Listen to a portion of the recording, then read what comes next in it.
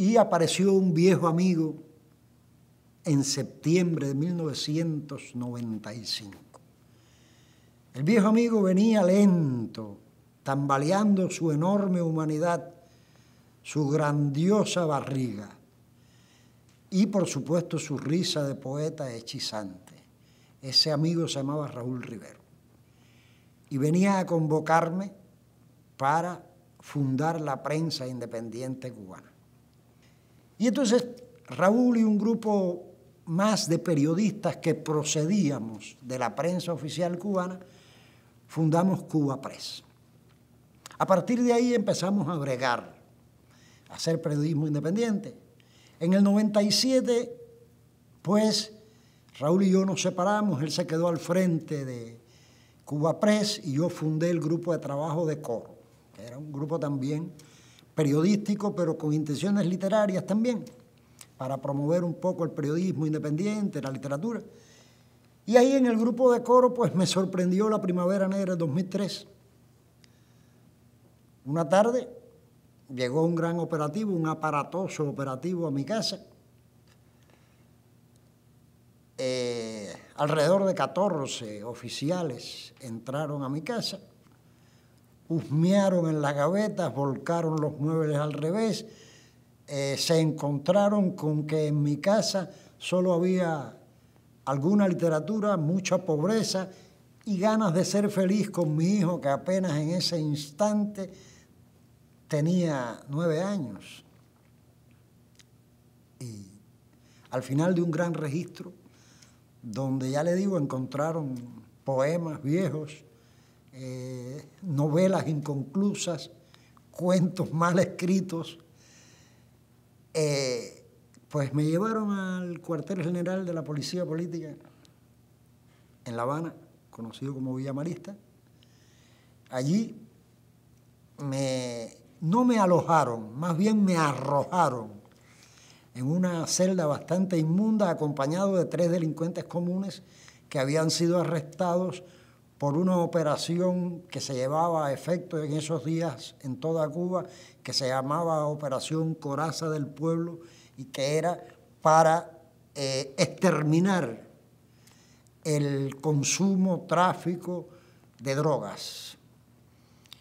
Y allí con aquellos supuestos tres delincuentes yo estaba, resultó ser que los tres eran realmente unos cubanos mm, como se diría, eh, luchando por sobrevivir.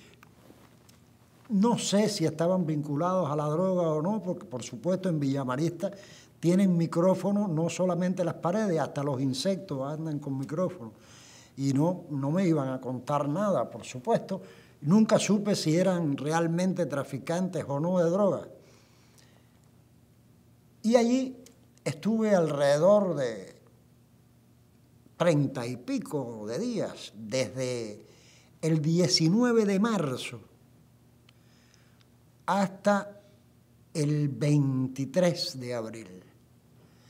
Claro, el día 4 de abril nos habían hecho, nos habían llevado a un simulacro de juicio, a una especie de farsa tartufesca, ¿no? muy a lo Molière, muy teatral, donde fuimos sin garantías procesales ninguna, condenados entre 13 y 28 años.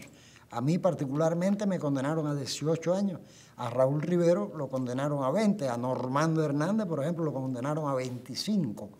Y así las, eh, las cifras de años de cárcel llegaron a la, a la enorme friolera de 28 o 29 años.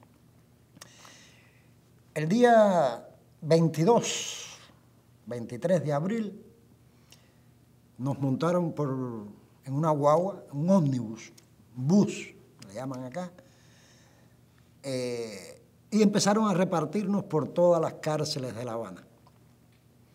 Cuando ya la isla se estaba acabando, yo pensaba que me iban a llevar para Jamaica, porque ya se estaba acabando casi la isla. Eh, llegué a Santiago de Cuba en la madrugada y nos ubicaron en la cárcel de Boniato. Allí uno de los recuerdos más así que tengo es que Normando Hernández, a quien habían subido a la guagua en, en la ciudad de Camagüey, eh, nos habíamos acercado y estábamos conversando.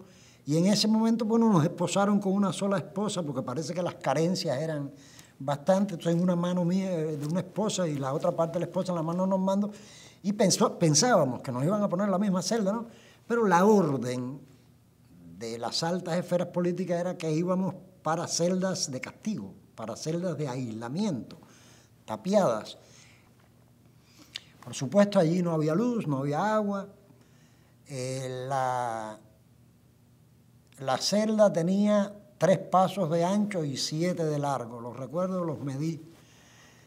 Y luego escribí un libro que se llama Escrito sin permiso, que es un reportaje sobre toda esta época, la Primavera Negra, la cárcel, etcétera, que empieza así, diciendo que tres pasos de ancho tiene mi celda, mi celda tiene siete pasos de largo. Eso era, eh, era más, más estrecha que un abrazo la celda. Realmente uno no entraba a aquella celda, se la ponía como si fuera una camisa porque era muy pequeña. Y allí comenzó a transcurrir la pena que nos habían condenado. Comenzaron, por supuesto, a aparecer las protestas, no teníamos acceso a la prensa, no teníamos acceso a la televisión, de internet y eso, ni hablar eso.